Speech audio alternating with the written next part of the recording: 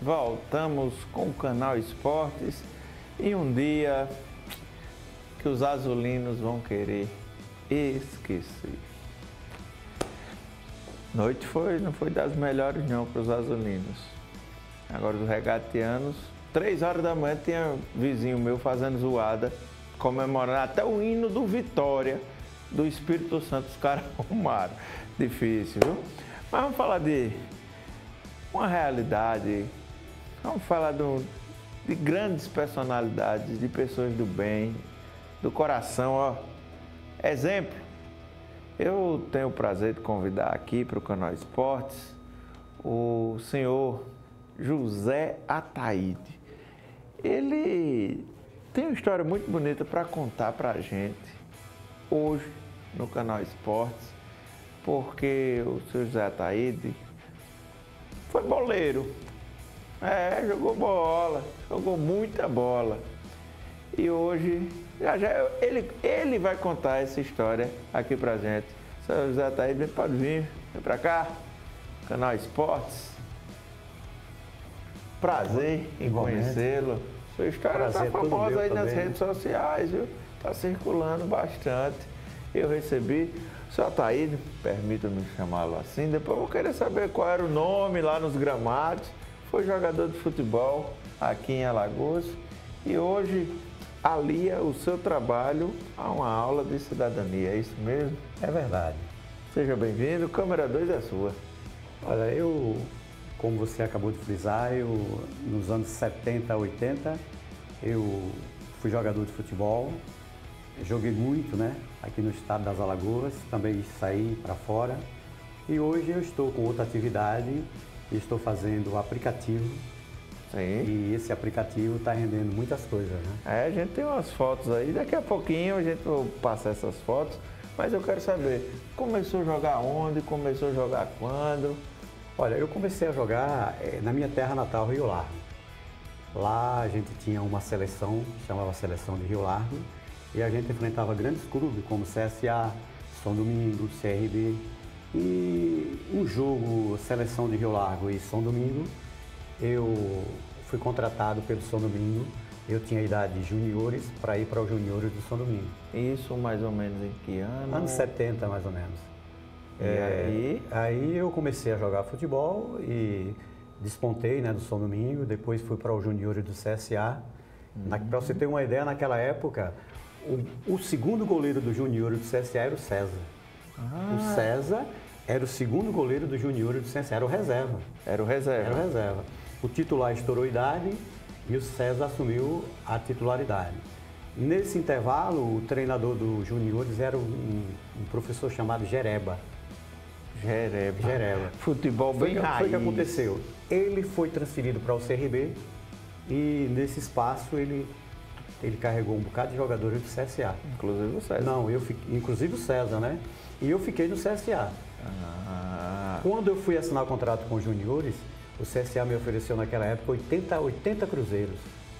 Um dos grandes, um dos grandes é, valores em dinheiro, né? 80 cruzeiros. E eu fiquei de assinar o contrato, é, no intervalo, eu recebi uma proposta de um time de uma usina aqui de Alagoas, a usina é, de Cajueiro. E eu fui contratado para jogar na usina por 220 cruzeiros. Era um bom salário um bom também. Salário. Era, mais, era três vezes era mais, quase três, vezes, quatro vezes, mais. mais. do que o que eu ganhava no, no CSA, né? Só para explicar para quem é mais jovem, que gosta de assistir o canal Esporte, que gosta de estar na nossa audiência. Antigamente, no tempo do senhor Ataíde, o futebol alagoano, os júniores faziam as aberturas das partidas. Das partidas principais. Das partidas principais, não era isso? É verdade. E a gente tem uma força muito grande dos times das seleções dos municípios e também os times das usinas. Correto. Não era isso? Correto. Porque você vê, é, tinha a usina, usina Capricho, que eu fui contratado por eles, a usina Sinibu, é, usina é, de Boca da Mata, usina Triunfo, todo esse time de usina fazia grandes times, empregava os jogadores e fazia grandes times. A gente não ia deixar de ganhar dinheiro para estar tá jogando no CSA, no CRB, com um salário lá embaixo, entendeu? Era bom, era, era, bom. era financeiramente, financeiramente saudável. Correto, correto. E de lá eu parti depois para o, o São Domingo, time principal, Naquele, naquele, aquele São Domingos dos anos 70 correto. que brilhava os olhos correto. de todo mundo. Que, que tinha o China, o Gabriel, Reinaldo, oh, Mário. Recordar Zé é viver hoje Leite, aqui. Pires. China. China, Gabriel. Gabriel. Zé Leite. Zé Leite. É, Reinaldo. Reinaldo. Mário. Mário. É, Major. Major. Dodó. Dodó. Pires. Pires. É. O nome do seu Ataíde era José Ataíde, era Ataíde ou tinha algum apelido não, não, bem eu, raiz? Eu tinha, eu tinha um apelido raiz que chamava Beinha. Beinha? Beinha. Pois é, Beinha está aqui com a gente hoje no canal Esportes, relembrando os velhos tempos. Eu tenho alguns telespectadores que interagem com a gente, turma mais, cabelo um pouquinho mais grisalho, mais experiente de vida, mas que adora esse tipo de entrevista, que relembra os velhos uhum. tempos relembra partidas memoráveis e esquadrões, porque quando a gente consegue lembrar a escalação inteira é porque era um esquadrão. É correto. Era um esquadrão correto. de craques. Com Beinha jogando em que posição? Jogava no gol. No gol? É. Ah, Olha, o, o, que eu acho. Pera aí, no gol? É. Com essa estatura? Com essa Explica estatura. pra gente. Que é o seguinte: tinha goleiro mais baixo do que eu aqui em Alagoas. Tinha o Cocorote, o saudoso Cocorote, um grande goleiro, jogou no CRB, jogou no Asa entendeu? Foi, foi goleiro da seleção alagoana de futebol, que quando na, na, na, na inauguração do estado do Ripelé, ele que foi o goleiro da seleção alagoana. Cocorote. Cocorote contra o Santos, entendeu? E hoje a gente vê cada goleiro maior do que uma palmeira, que não sabe nem sair numa bola na área. É, tem, tem, uma, tem um aí, o senhor pegou pesado é. agora. Não, viu? mas é verdade. Tem é um verdade. aí de 1,98m que a torcida não está aguentando nem, olha, nem falar olha, o nome dele. 1,90m. Eu sei quem é esse goleiro. Eu tenho 1,80m. Se eu precisar olhar para ele, eu tenho que olhar para cima. É verdade, é mas verdade. Ele não sabe sair do gol. É verdade, mas é verdade. Não só ele, não. Muitos goleiros do nosso país não sabem sair do gol. O cara leva gol debaixo da trave e o cara não sai. Parece que tem medo de sair. Outra coisa que eu, eu admiro muito, na minha época, a gente via goleiro da minha altura fazer pontes lindas é, a chamada ponta, a que é aquele é. pulo. O cara metia a bola, a gente ia lá na gaveta, pegava a bola, caía com ela no chão. Hoje a gente vê os goleiros jogando como joga voleibol. Não, teve inclusive um desses gols que o CSA tomou recentemente contra o Esporte Recife. O goleiro ficou plantado no chão, a bola passou. Se ele esticasse o braço, ele tinha altura para pegar Mas é aquela verdade, bola. É verdade. Ele tinha ângulo para pegar a bola. Ponte é um negócio raro. É verdade. Você, pronto, o seu CRB você, eu sei que você é torcedor do CRB. Seu CRB teve um goleiro que foi prata da casa, um grande goleiro, o Índio. Sim. Entendeu? Também de estatura. estatura não é tão alto o Índio, tá entendendo? É, Mas foi um grande goleiro. O senhor está me chamando a é atenção. É para algo muito importante. É verdade. O CSA teve um goleiro por nome de Zé Luiz, que era da minha altura. Grande goleiro. É, tá, olha aí a experiência no mundo do futebol tem o conhecimento, tem a sabedoria, consegue perceber, tem experiência Mas aí é nessa verdade, história, viu? É verdade.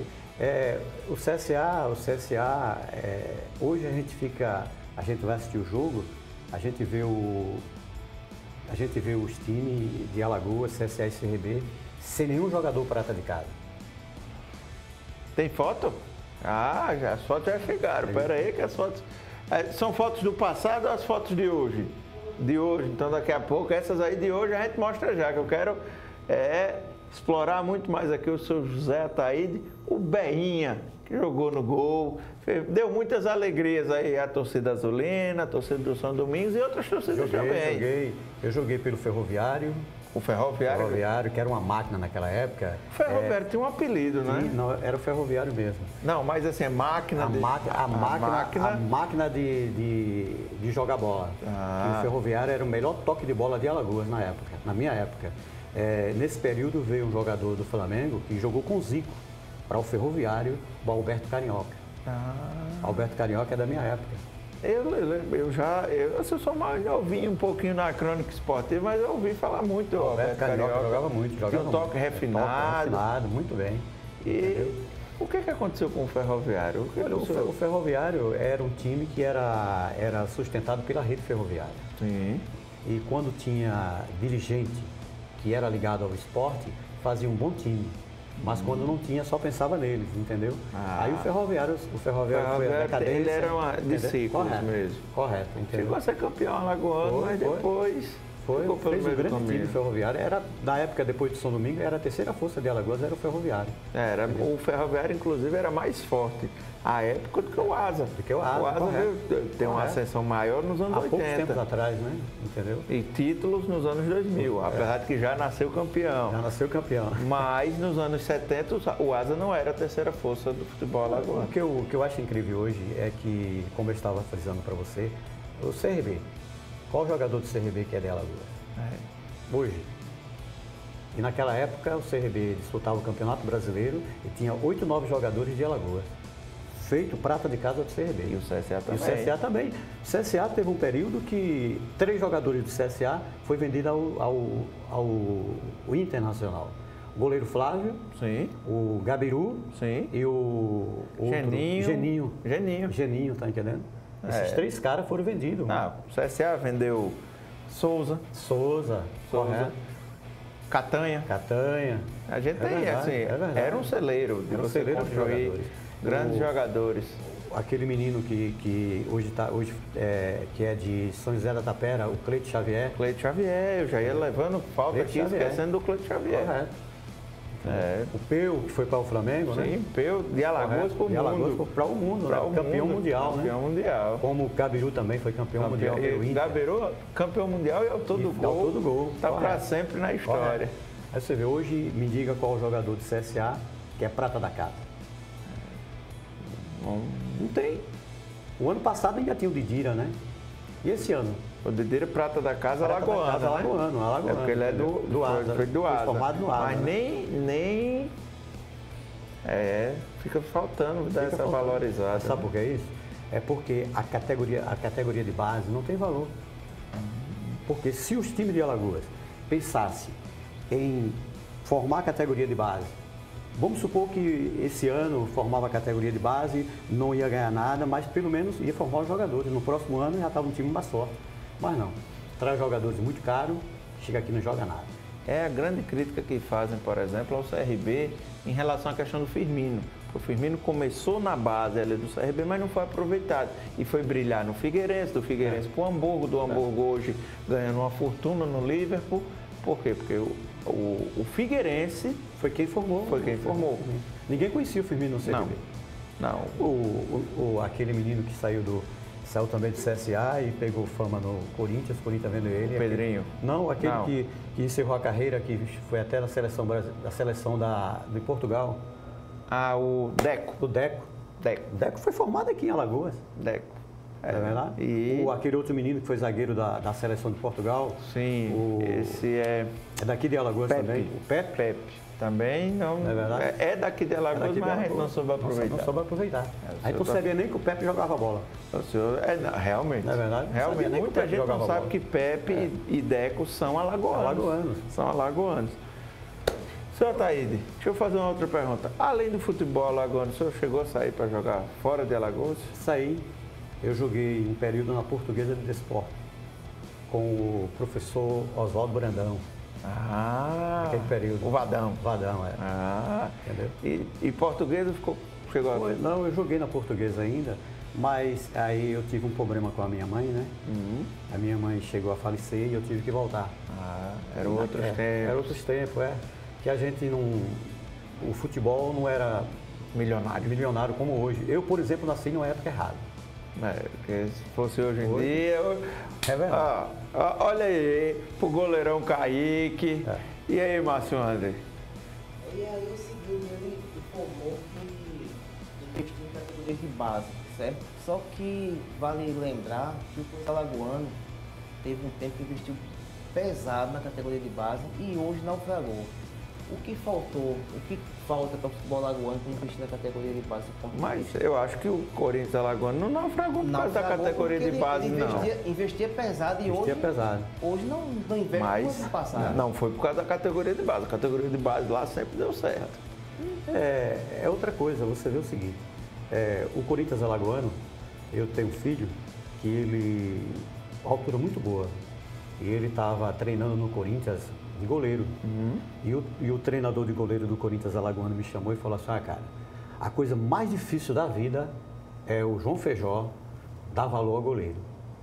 O João Feijó só dá valor atacante, porque atacante dá dinheiro. Sim. É o cara que faz gol. E o teu filho, ele mandou deixar aqui para treinar, porque tem futuro, moleque.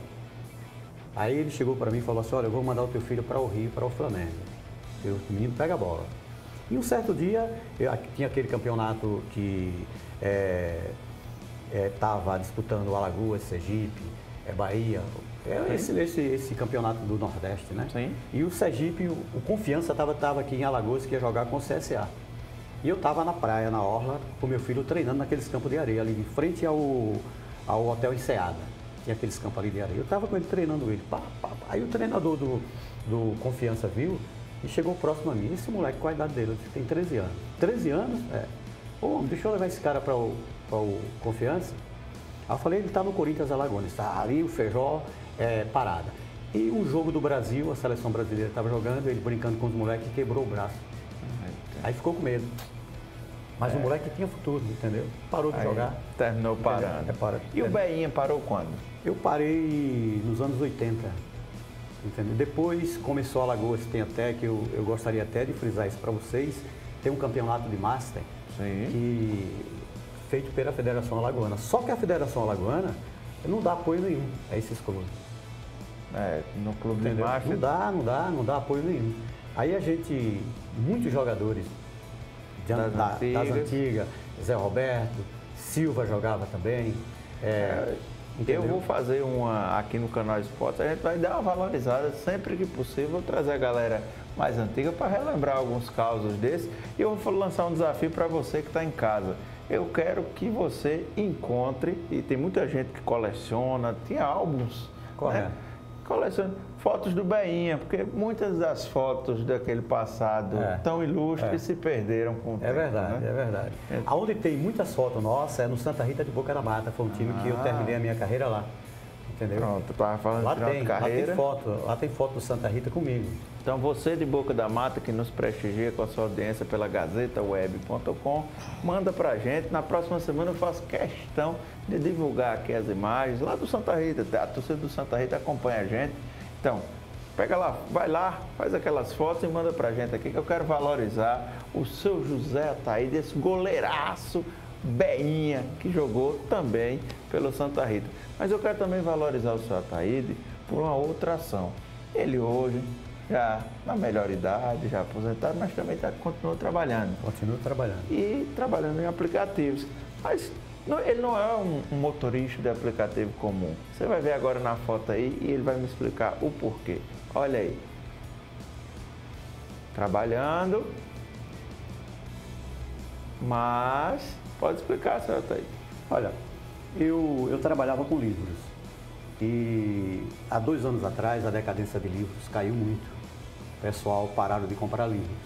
E eu fiquei com um estoque muito bom de livros em casa e eu fui oferecer nas lojas, os caras queriam comprar barato, por 5 reais, por 3 reais. Algo foi que eu fiz. Em dezembro do ano passado, eu coloquei bastante livro no meu carro. Cada local do carro eu colocava um livro. E cada cliente que entrava no meu carro, eu colocava para ele um brinde daquele livro. Ah, se ele quisesse levar ele, o livro? Não, ele levava, de qualquer maneira eu levava, entendeu? E o prim, primeiro cliente que eu preguei com essa oportunidade foi um professor. E aí o que Aí quando eu entreguei para ele, ele falou assim, esse livro é meu mesmo? Você está brincando comigo? Eu digo, não, é do senhor. Ele falou assim, poxa meu, é, que ação essa sua, viu? É interessante. Aí o que foi que aconteceu? Quando eu chegou do desembarque dele, ele mandou uma mensagem, porque a empresa Uber, eu trabalho mais com a Uber, a Uber tem um aplicativo que o passageiro vai avaliar o motorista, como o motorista também avaliar o passageiro. E ele botou uma avaliação para mim. Disse, olha, é incrível, eu peguei um motorista da Uber, o cara me deu um livro que eu nunca esperei na minha vida. E fiquei continuando, até hoje eu continuo dando livro. Coincidência que essa semana eu, eu peguei um, um cliente que era da, da profissão de vocês. Jornalista. Jornalista. Aí quando eu entreguei o livro para ele, ele ficou brincando comigo. Você está brincando comigo? Eu digo, não, o livro é seu. Aí ele falou, ó, eu tenho uns amigos meus que reporte que eu vou mandar isso para eles. E eles, eu tenho certeza que ele vai te convidar para tu participar da programação deles. E hoje eu estou aqui, graças a Deus. Eu só tenho a agradecer a Deus, né, por essa iniciativa e estou aqui pronto para atender os meus clientes. Cada cliente que entra no meu carro ganha um livro. Aí, gostei de ver. Pois é, o canal Esportes valorizando a cidadania, a educação, a prática esportiva e também a melhor idade. A gente é aqui, eu gosto muito, eu dou um valor muito grande a você que já viveu e tem boas histórias para contar. Boas histórias nos nossos gramados, boas histórias na vida, porque isso aqui, ó, que vocês vão ver agora na tela cheia de vocês, olha aí, queria eu que todos os motoristas tivessem iniciativas como essa.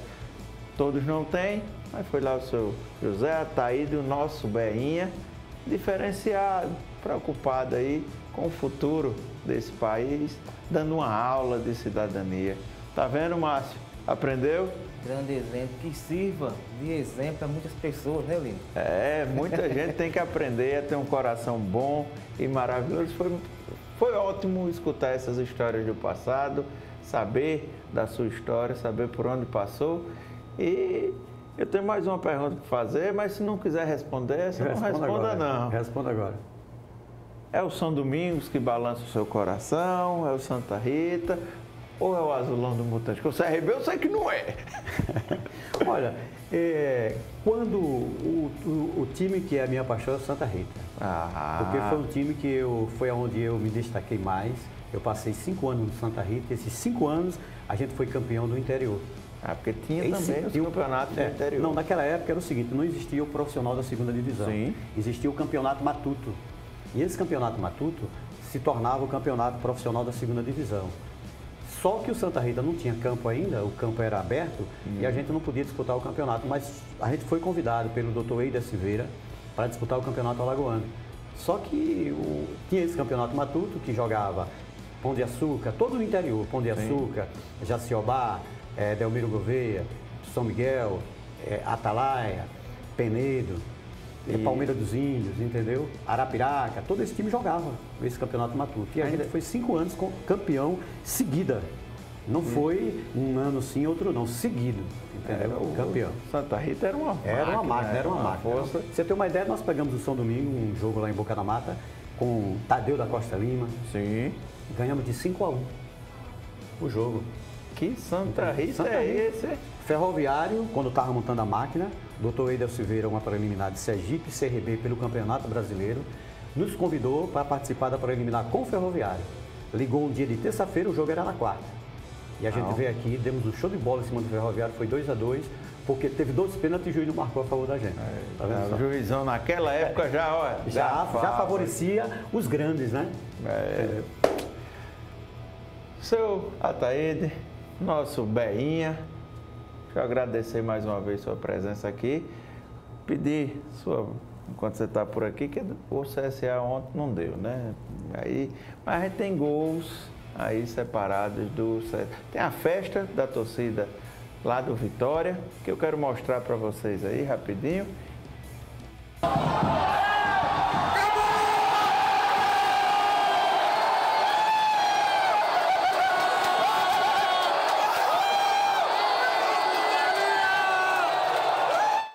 Essa festa era para estar tá sendo aqui em Alagoas, mas não deu, né? Só lembrando a você que está nos assistindo, nos prestigiando com a sua audiência, que na, no domingo a gente tem o Clássico das Multidões pela Copa do Nordeste. É, a gente tem a, a Copa do. Isso aqui não, mano. Isso aqui é, é, já foi agora, já passou. Já foi, você não prestou atenção a hora do programa, meu amigo. Já foi. É, domingo a gente tem Copa do Nordeste, CSA e CRB. CRB e CSA, o mando de campo do CRB, 70% da torcida do CRB vai estar lá. E o CSA vai ter um momento um pouquinho delicado. E lembrando sempre que a TV Mar é a emissora do Campeonato Alagoano. E esse final de semana tem, sim. Olha aí, divulgação do CRB e do CSA para a torcida visitante. Lembrando também que tem campeonato alagoano esse final de semana. Abre a tabela aí rapidinho. Olha aí a tabela do campeonato alagoano. Tem Jaciobá e Murici. O jogo está ali, Edson Matias, mas ele será realizado, foi transferido pela federação para acontecer em Palmeiras dos Índios. E tem Coruripe e Céu no Gerson Moral. Os outros clubes só voltam a partir de quarta-feira. Jovem. Muito obrigado. Muito obrigado, digo eu. Me dê a, o prestígio de bater uma foto comigo aqui no Vamos final sim. desse programa, enquanto sobem as letrinhas do canal Esportes. Esse aqui não é por nada não, não é porque eu estou aqui não, mas é o melhor programa do jornalismo esportivo da TV Alagoana. Bom final de semana, vou dar o meu pitaco, CRB vai empatar para não, também não ampliar essa crise lá no Azulão. Márcio, qual é o seu placar? 5 a 0 Azulão.